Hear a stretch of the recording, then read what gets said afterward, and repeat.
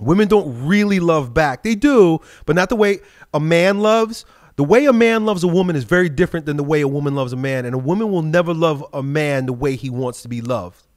Because we have a way of pedestalizing women. And I'm not 100% against that because it's in our nature, but we have to be privy to it, aware of it, and guard against it. A woman will not pedestalize you, but she needs to respect you. Yo, Elliott. Yo, Elliott, I have a question regarding love and relationships. I already understand that love begins rational. You vet a person with your mind, seeing if she's a good fit for you and if she would make a good mother. However, what is real love? Is there such thing as real love and how do we discover it? Cool. So, I paused for a moment while reading your question because you say that I understand that love begins rational. Well, what I will say is that love does not actually begin rational. Love is actually very irrational when it begins. The experience that we have when we're around someone goes beyond uh, rationale, it's usually very emotional. And when we look at a woman, there are there are many different things that we're seeing in her that maybe we're not uh, conscious of, right? And science has shown that when we when we first lay eyes on someone, there's this primal instinct to vet them for suitability of procreation. This is why big boobs just draw your attention, right? There's nothing rational about the fact that I see boobs, right? You know, and then I become rational about, okay, let me stop looking at those boobs because now I recognize I'm being manipulated by my primal instinct and by her showing those boobs. She should cover that shit up. But that's completely irrational because it's instinctual. And our instinct is that those big titties hold milk and my babies will be safe. you know what I'm saying? Or big hips. It's the same thing. She's not going to die during childbirth. Now you're not thinking that because all of a sudden your your member, right, you're is stiffening up but it, you're not thinking, and he's not thinking, oh, some good old childbearing hips, right? But for some reason, you see those hips and you can't help yourself. But look, that's all irrational. That's all irrational. But but what is required because we're rational beings is to step back and be objective about this, right? We've got to recognize, boom, I'm being stimulated by a primal instinct and, in a way, manipulated by this chick walking around. And is, I think this is the reason why modesty need we need to make a comeback to modesty because women who think that they're just I'm just following the fashions, which she thinks she is. I'm just doing what I like. I'm just wearing what I like to wear. Don't realize no, you're manipulating men right now, and because women's uh, their currency is attention, right? How much tension can I get? And it's just in their nature. But we need, just like for men, we, we need bulwarks, we need boundaries against our natural inclinations, right? It's important to have those there because we're not animals. We're not animals. We're higher than the beasts. That's why we can create rocket ships and shit. Uh, women, modesty is a boundary as well too so that they don't get carried away we don't get carried away. And so i know like I've mentioned this a couple times is a lot of the muslims here have affirmed that this is how they practice in their culture. But when you see a woman you turn your eyes down. You turn your eyes away. I think that's a good idea. You see a woman and immediately because you know that there's that irrational part of you that's going to get stimulated just turn your eyes down turn your eyes down and don't give her the satisfaction of, the, of that as well. women will change their behaviors when men change their behaviors. We go first. But if every time women are walking around looking this way, we're like, hey, baby, right? They may act like, oh, I don't want your attention, but they're getting exactly what they want. They might not want your attention, but they want the attention. So to say that love begins rational, I don't think that's I don't think that's the case.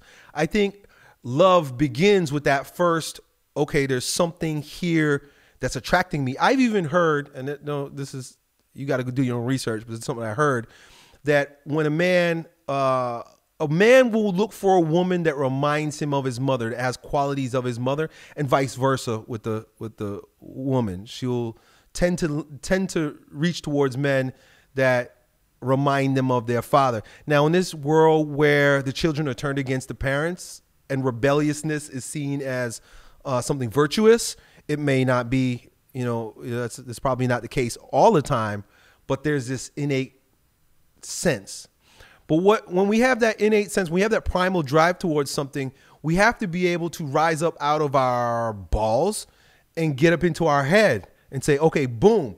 All right, my lower head thinks boobies, hips, childbearing, right? Sex.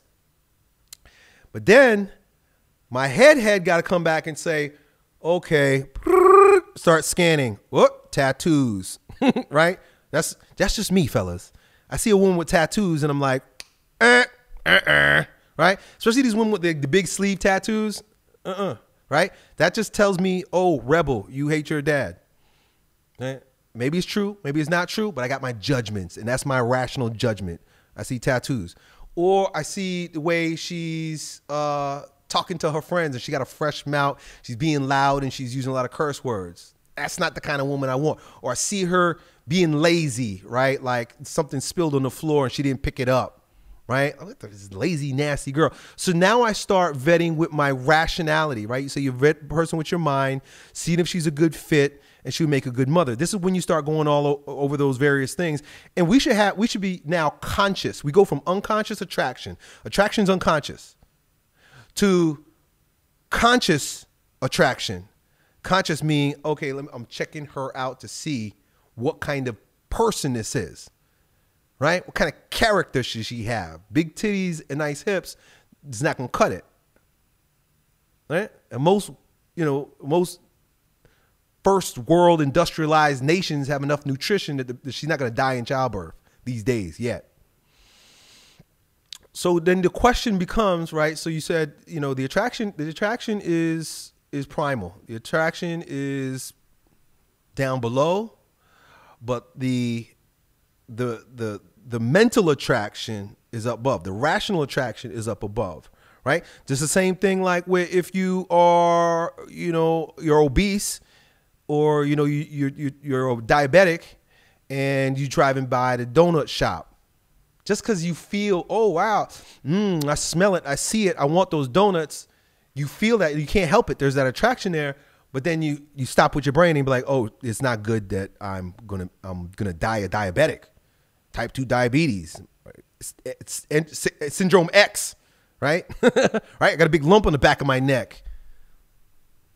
I got to take shots, and so it's like that's not a good way to live, and so you turn yourself, you turn away from it, or you know you're obese and you're gonna die with you know 60 pounds of poop in you because you just won't stop eating.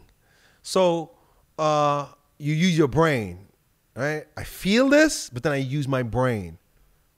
You got to do that. You got to do that. You got to do that, do it every time.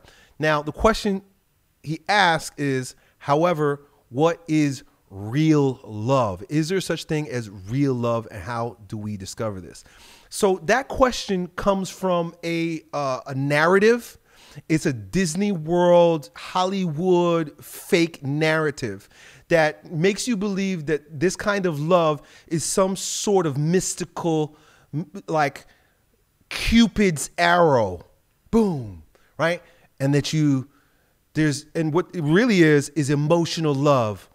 Oh, oh, oh, I can't stop thinking about her. A lot of that emotional love is, is lust mixed with a, with a, a form of neediness meaning like validation. So it's like lust and validation. It's like sex and validation, right? I want to want and I want to be wanted, right? And it's very immature. It's very immature. And that's not real love. You don't feel, you don't have to feel real love. Real love has no feeling. Real love has no feelings. Real love is a commitment. It's what you've decided to do right? This is why there's no real love today. There's no real love today because there's no commitment. Real love means I'm gonna do, and this is above and beyond even a love relationship with you know your wife. this is with your children, this is with your family, this is with just people in the world. Doing the right thing or wishing the well for that other person, wishing well for that other person, even if it doesn't benefit you right away or benefit you at all. That's what the Catholics call charity. Charity is love, but charity is a love for another for the sake of God. And by doing and by having that love, you wish the well, you wish well for that other person. That's what real love is. Real love is wishing well for that other person, regardless of how you feel about the situation. And you commit to that. That's why I use the word commitment because you got to be disciplined. Real love requires discipline. Real love requires practice. Love is a practice, right? It's a discipline. You become a disciple. That's a better way to, you know, to, to, to describe the love relationship. It's a discipleship relationship. I'm in this discipline of relationship. Relationship is like a kung fu, right? It's a practice. It's something you're sharpening every day. It's something that when you recognize you got a weakness in it, meaning like, uh, I wish this person well, right? And of course, if it's your wife, you wish her well. Why wouldn't you want to wish her well? In fact, St. Paul says in the Gospels, in his epistles, that your men should treat their wife like a part of their body. And he said, Who would treat a part of their body poorly? You will only wish well for, the, for, your, for your arm, right? I only wish the best for this arm because without it, I'll be in pain. Without it, I'll, I wouldn't be as useful. He says, treat your woman and, and consider her as a part of your body right? That's wishing well. That's wishing well for somebody and taking care of somebody like they're yourself, right? But here's because we, here's the other thing that Paul says. He says, "Men love your men love your woman like a part of your body, but women respect your husband." Why is that? Why is that that he says men love your woman, but women respect your husband. Right?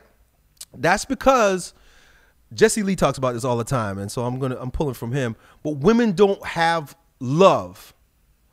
Women don't. It's harder for women to have love the way a man can have love because a man is filled up. A man is already full. A woman's looking to be filled.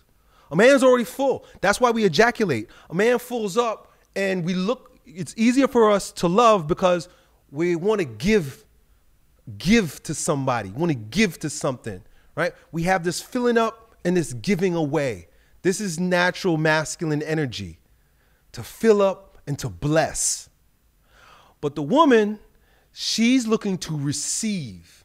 She's looking to take in. She is a she's empty on the inside. Where a man is filled up on the inside and we reach out and give the woman is empty on the inside and she seeks out and opens so that she can receive something. And so the man is to love her because a lo- because this love is a is is is projective, right? I'm going to love you because I'm going to commit. I'm going to and projected head. Think about we even talked about it before. Rational. The head of the penis can can be uh, teamed up with the head of the head, where it's boom, I'm going to actively love. And this is what we do we actively love down below and up high, right? And then up high, we make a decision. The woman, just like any, you know, so eh, people who have their hands open, this is why socialism don't work. People who have a hand open are the worst people to give shit to because they they take it and then they you know what they do a lot of times they scorn the people that they get it from. This is why there's class warfare with socialism. And this is why socialism turns to uh, communism. Because when you're receiving something, when you're a receiver, it you can not only you there's a tendency to have resent because you know that you're empty, you know that you don't have, and now that person that has has given to me and I scorn them. There's a resentment towards them. And so the woman at the same time, she's a receiver and she takes from the man. If she doesn't use her head now, she could be very greedy, take his love and then you know, and then she maybe she just focuses on her baby and the children and what she has and her comfort, and he just becomes a whipping post. Just get me what I want. Just do what I tell you. Right? This is what happens with a lot of marriages. So don't tell me I'm wrong. Happens with a lot of marriages where the, woman, the man, because men want to give, she takes from him, gets what she wants, and then just scorns him. And, and so many women I've even heard they they um they uh resent their husband so much so that they they they have like uh, icky feelings. Like I forget the word but they're tur- so turned off by their husband. In the same way that poor people who are who are of this demonic mindset that love socialism they hate the rich. They want everything that the rich people have. They want to take it away from them but they hate them. And so for a woman it's important love is not even the issue so much it's hey have some respect have some respect for this man who's giving not only his load to you, right? right? You bust your nut. He's just gave you eight steaks and a dozen eggs of nutrition, giving you his seed. He's giving you his essence. This is what is called when a man ejaculates as his essence, giving you his essence. But in a rightly ordered civilization, in a traditional family, he's providing for you, he's protecting you. He wants to do that. Men want to do that. Now I get it. A lot of you guys, you you don't like when I say that because you realize that these women are going to take advantage of you because these women have no love. Women don't have any love, and not only do they not have any love, which is fine, they don't respect. They have no respect for what men can provide, and they go around riding cock carousels looking for like the next cute guy or hot guy or alpha guy, and even if he pumps and dumps her and can't give her what she really needs, which is a home and a family. She's scornful to the man that can give her the home and the family. That's why when you when the beta need is filled, right, by the guy who you know, hey, I'm going to give you a home and a family, and I see this happen sometimes too, man. It's, it's a sad situation. I'm going to give you a home and a family. I'm going to give you these things because I want to, because I'm a man and I love in a projective way. The woman takes, and then she's like, oh, oh, ugh oh, he's looking for sex again. Or she gets turned off by him. And then, you know what? 90% of divorces initiated by women. Gone. And she wants to go. So I don't blame you guys. The problem is not so much marriage itself. The problem is no love, no respect. No rational love, because men could become uh, uh, effeminate too. Because like I said first, love is a commitment. If there's no commitment, then it's then you become the addicted lover like I was talking about in the previous question. Well, I already licked this twat. Let me go get the next. And then you're acting like a woman, right? Because there's no love. You're just empty and you're trying to fill yourself up like a woman trying to fill herself up. Women want to be filled up. That's why they get babies. They want to be so filled up that they pop. The baby comes out. And women don't respect men. They have no respect. They have no respect for men. And a lot of times, dudes just ain't respectable. That's what this King program is about, anyways, about being a kind of respectable, valuable, high value man that these women have no choice but to respect. They might hate you, but they'll respect you. It's better that way. Better that they hate you. Like my mom hates my dad. They're funny. My parents are the funniest couple, and they love each other. It's no, it's it's a joke. But she can't stand my dad. She hates my dad, but she respects him, and and it works. It works. Don't be afraid to be hated by women because you're so damn respectable. Right? This guy is just too and look, I'm not saying put on like you're alpha, but just be the alpha that you're born to be. I don't need you. Right? And then they'll have more respect for you. Women don't really love back. They do, but not the way a man loves the way a man loves a woman is very different than the way a woman loves a man. And a woman will never love a man the way he wants to be loved. Because we have a way of pedestalizing women. And I'm not 100% against that because it's in our nature, but we have to be privy to it, aware of it, and guard against it. A woman will not pedestalize you, but she needs to respect you, right? Their love is very different she when I say respect, it's it's a woman's kind of love. A woman's kind of love is respect Because she wants an authority. She wants a man that she can look up to. She wants a man that makes her, when I say a man that makes her feel safe, this is not the beta way of making a woman feel safe. This is, I'm afraid of this man that he makes me feel safe, right? Like my wife is afraid of how powerful I am. And sometimes, and she's told me like that it turns her on. There was a time, I was thinking about this last night. I don't know why I was thinking about it, but we were living in a townhouse, right, down in South St. Pete where there was a lot of crime. And one night we were sleeping, and our front door, it was made of glass, or there was a glass right next to it, smashed open.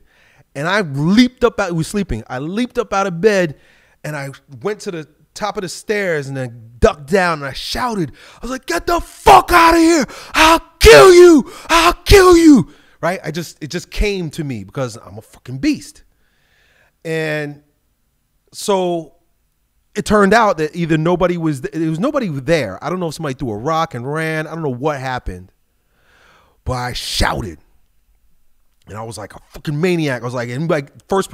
Now I realize that's why I should had a I should have had a gun back then. I got I got guns now because I just come out there and I just start blasting. But at that time, I would have just fucking I would have went down there and ripped somebody's head off. And I got back into bed, and I don't know if she told me this that night or when I came or or maybe the next morning. But she was like, "Oh my god, I was so afraid. I was so scared." Oh, and then she was like, "I like the way you were yelling there. Ooh, that made me feel safe." and it was like she was melting, like it kind of turned her on, right? So when these women say, "I want a man to make me feel safe," these men take it the wrong way in terms of like I'm not going to try to have sex with her, right? You're safe, right? That means you're not going to pursue me. And you know what a woman she's not turned on by that. Safe meaning this man is dangerous. That's how my wife feels and, and so there's a level of respect associated with that. Right? This man is dangerous. And I'm a little I'm kind of a dangerous guy like I could do some dangerous shit. And sometimes I scare her because of, you know, how courageous I am and some of the actions that I take. And I know it keeps her turned on. I know she's turned on because I'm a scary dude. so that's really what it is, man. Yo, it's your bro Elliott Hulse here, and I hope you enjoyed that video. If you did, you ought to know that it was a clip from one of my most recent sessions with my King Transformation students where, among other things, we get together about four or five hours a week and we speak on things related to becoming kings in our lives. If that sounds like you, you're interested in joining a like minded group of men who are growing stronger every day in every way in this degenerate age, then it's real simple. Just follow me on Instagram and then DM me the word king, K I N G, and me and my team will get back to you with the details to see if you qualify to join us. Hope to see you at our next meeting. Done.